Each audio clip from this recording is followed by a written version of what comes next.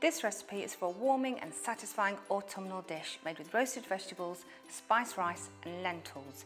Now to begin with, I've got a bowl here that's got a cauliflower that's been cut into small florets and some diced carrots. To spice it up, I'm going to be using a little bit of turmeric, about half a teaspoon, or you could use curry powder if you prefer. Some cumin seeds, about a teaspoonful.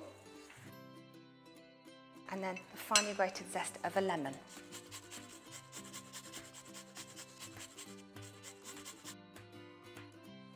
And then let's just scrape off the zest using the back of a spoon. And I'm going to nip this in half and squeeze out the juice.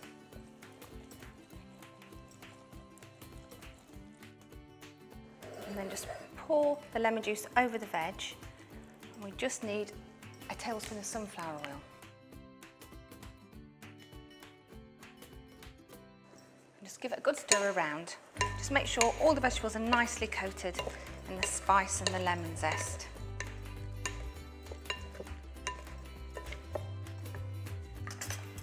And then just tip them out onto a non-stick baking sheet. And they need about 25 to 30 minutes just until they're golden and tender.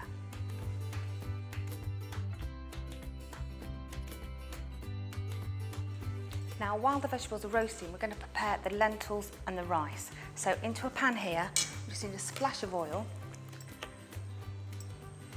And I've got some diced onion that's going to go in. So this dish is not only delicious, but it also contains two of your five a day.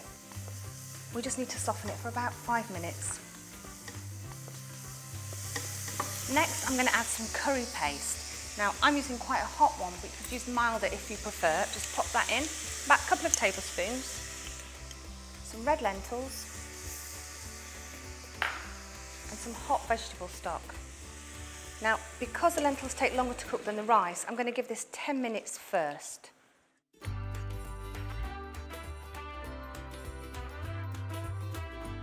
Now it's time to add the rice. Just pop that in. Give it a little stir. And then put lid on top and simmer for about 10 minutes until both the lentils and rice are tender.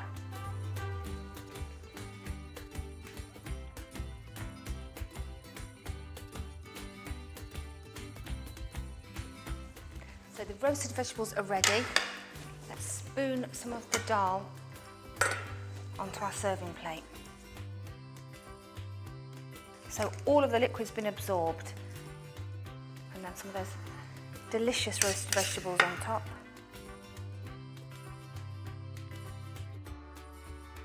And then just to finish it off, a touch of fresh coriander leaf.